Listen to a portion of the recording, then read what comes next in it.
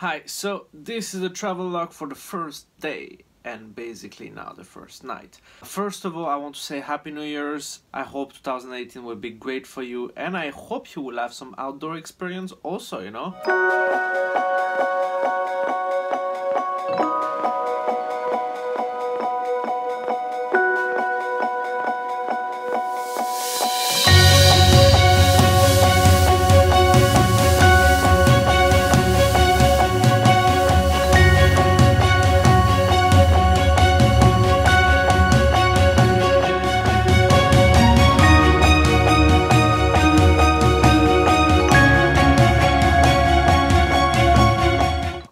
This video because I like to share and I like to inspire you to get outdoors.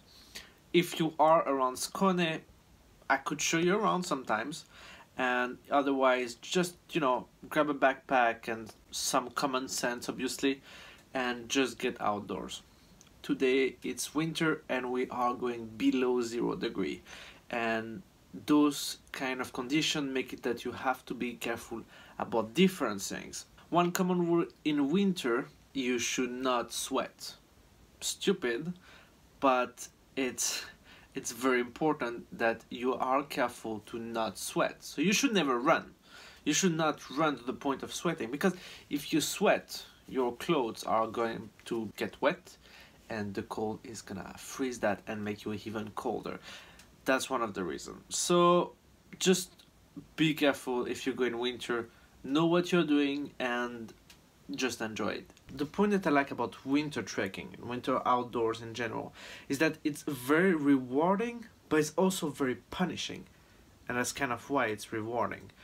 Because every mistake you make you're gonna pay it 10 times if you forget gloves your hands are gonna be painful. In autumn, if you forgot gloves, just gonna be cold and it's not gonna be comfortable. If you forgot gloves in winter, and specifically when it go below zero, then it's gonna get painful. Also, the reverse is true. When you succeed to do these things, when you succeed to make fire, when you succeed to be comfortable, then it's like much more rewarding. It's way more easy in the summer, you know. So in the winter, this challenge added make it much more, much more reward. That's what I like. And right now, I'm so cozy and comfortable. You don't even imagine. First of all, I came back to this place that we found with Ali, which is this cabin that basically is kind of hidden and is really near to this lake and just just just imagine as a note i was extremely tired so it was like it have to work out. I mean i had my tent but i really wanted something nice for today. Uh, i was working a lot this last week so i kind of wanted some really nice place. So i back into Blekinge border at Rostlagen Lake. And uh, there is those two shelter and we found this cabin there. And uh, when I arrived there I saw the first shelter was occupied by three Swedish people. Okay. And the second shelter was also occupied. And I was like oh please please please make sure that the cabin is free. Make sure please please, please. and beam the cabin was free for me. I'm sure if they wouldn't have known that this was here they would have come here. But as I said, it's pretty hidden and you have to know where it is. So, so now I enjoy this cabin for myself. Let me show you around.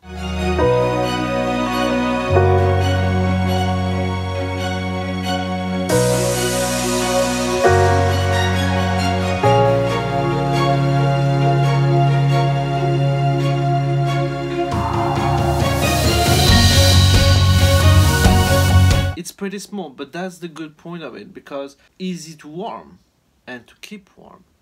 And outside is like maybe minus two, minus three, something like that. There is some wind and the humidity of the lake is not making it easy. And during the night, they're planning to have maybe minus six. So I'm gonna be so comfortable into that. It's just almost cheating. But anyway, I'm gonna have a really good night here. I will leave you on some drone shot that I take, and I had some fun also playing around with some smoke grenade that a friend of mine gave to me. Enjoy.